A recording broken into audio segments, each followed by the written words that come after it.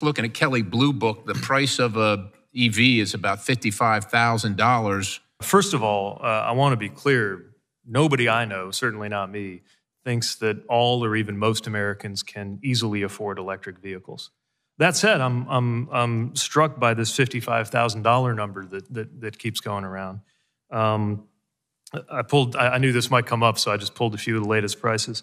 Uh, a Chevy Bolt, so an American made 2022 uh, EV is $26,595. Uh, if you want a pickup truck, uh, like a Chevy Silverado EV or Ford uh, F 150 Lightning, uh, the starting prices of those are $39,900 and $39,974, respectively.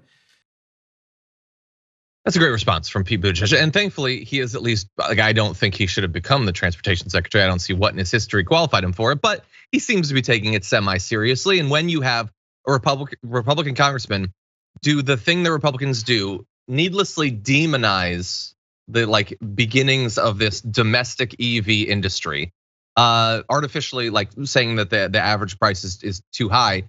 Um, yeah, it's great to have him respond to that and say, yeah, no, it is it is too high. And by the way, you all should do something to help lower it. Subsidies exist for exactly this sort of situation when an industry is new and needs support. Support to do the research and all that, support to get the cost down. That's what it's for. Not for subsidizing oil centuries into its use. It's for this sort of situation.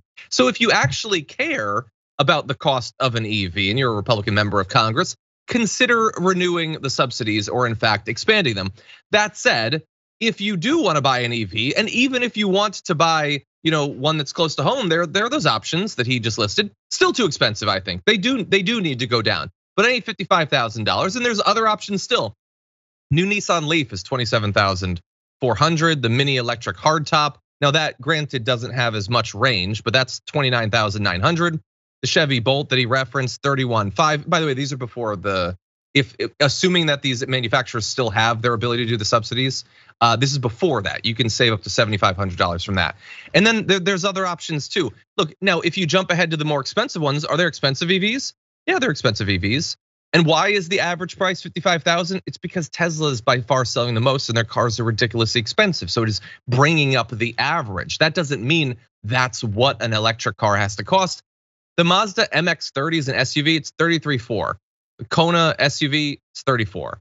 Kia Niro is 39. Kia EV6 is 40. Like, yes, let's work. Let's use government to help get these prices down because we desperately need it. Not only would it be great for the environment, they're literally better cars. It's great for the people too.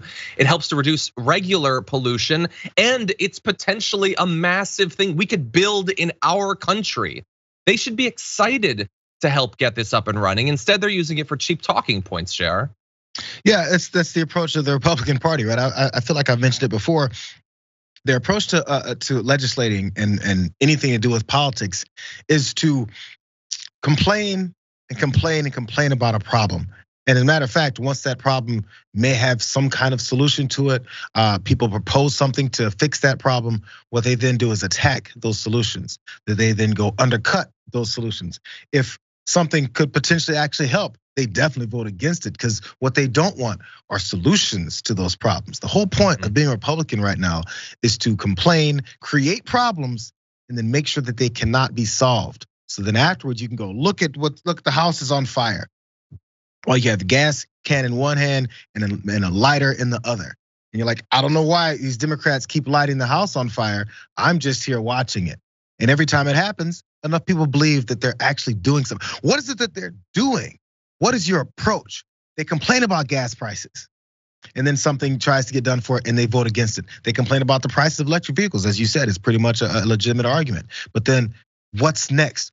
Why are you complaining about this? What do you want to do, bro? What is it?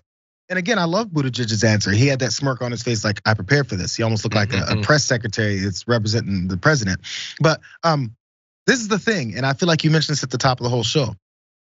I'm watching old Pete I'm watching the transportation secretary because I remember when he ran for president and everyone, uh, not everyone, but many people, especially progressives, were like, come on, bro, calm down. Who's this guy and why does he deserve any of our votes?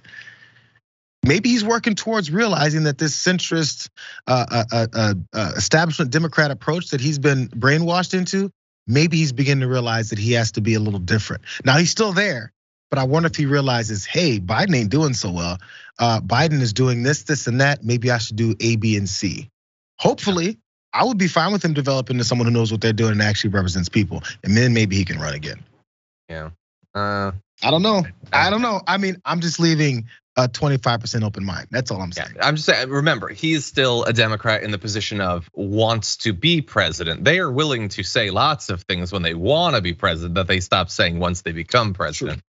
So we'll see. Um, yes, good good job there by Pete Buttigieg. Keep it up, Pete Buttigieg, and I hope you're absolutely destroyed in the next primary by an actual progressive.